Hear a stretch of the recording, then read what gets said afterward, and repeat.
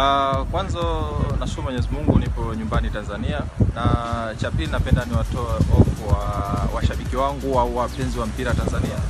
Mi nipo Tanzania takriban miezi miwili, lakini kitu ambacho kilinirudisha ni nilikuwa na injury na nashukuru Mungu nimeendelea matibabu vizuri, na mpaka takriban mwezi wa tatu wa nne nilikuwa niko vizuri kuendelea na majukumu yangu, lakini dokta ambaye kwa ananitibu alinipa mapumziko, akaniambia kwamba nirudi Tanzania nijiandae na msimu unaokuja ambao pre-season yake inaweza ikaanza mwezi huu wa sita mwishoni.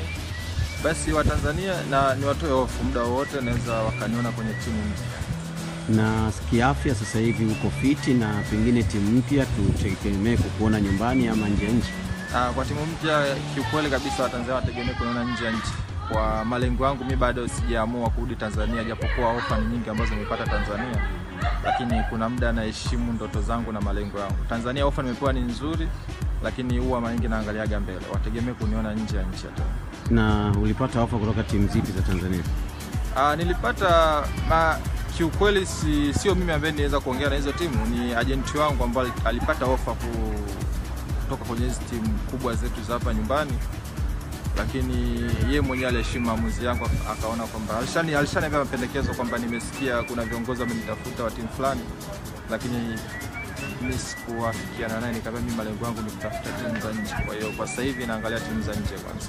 Lakini Tanzania kuna timu zimekuwa zikilipa vizuri na mpira wenyewe unapiga hatua.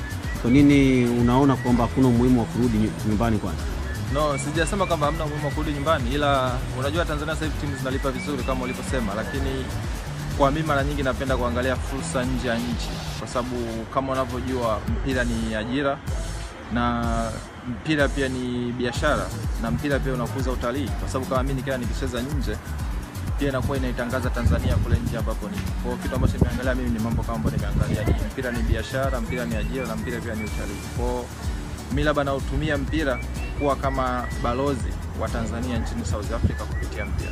Na ikitokea sasa unarudi nyumbani, penginepo unaweza ukatua wapi? Maana hapa umewahi kucheza na unaangalia pia upepo ulivyo na maendeleo ya timu zetu za hapa nyumbani. Uh, kiukweli kabisa kama nikiamua kurudi nyumbani basi mi nitacheza timu yoyote ambayo itanihitaji mimi kwa wakati sahihi ambao nimerudi, lakini kiukweli kabisa naweza nikawapa nafasi ya kwanza kabisa Simba, kwa sababu Simba ndio timu ambayo ilinilea hapa na kufanya mimi nacheza mpira South Africa. Kwa kama itakuwa sihitajiki au sina kwa wakati ule itakuwa si, siwezi kufiti au siwezi kuwepo kutokana na mfumo ambao timu yao ipo, mimi nitacheza timu yoyote, lakini napenda kuipa nafasi kwanza Simba.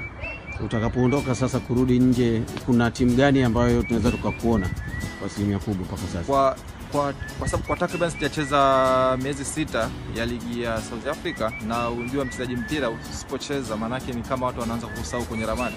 Na sasa kipindi hichi ambapo nitarudi, sitaangalia mimi ni wapi ambapo natakiwa nicheze au ni timu gani ambayo naweza labda naweza nikaichagua nicheze, ikuwa mimi nitacheza timu yoyote, kwa sababu nahitaji kucheza muda mrefu, nahitaji kurudi timu ya taifa. Kwa hiyo naendelea kutafuta timu ambayo mimi nitapata nafasi ya kucheza, hata iwe ligi kuu ambayo sio timu kubwa, hata kama nitapata timu ya daraja la kwanza, ila mimi nataka nicheze, nirudi timu ya taifa. Na umeshapata timu, mazungumzo yanaendelea mpaka sasa? Yeah, mazungumzo yanaendelea na baadhi ya timu, lakini kwa kuwa muda bado haujawa rasmi, haijawa official kusema ni timu gani naweza nikaenda, lakini Watanzania wategemee muda wowote naweza nikaondoka nikarudi South Africa na kwenda kuanza pre-season au kuenda kujiandaa na timu ambayo agent ataniambia ni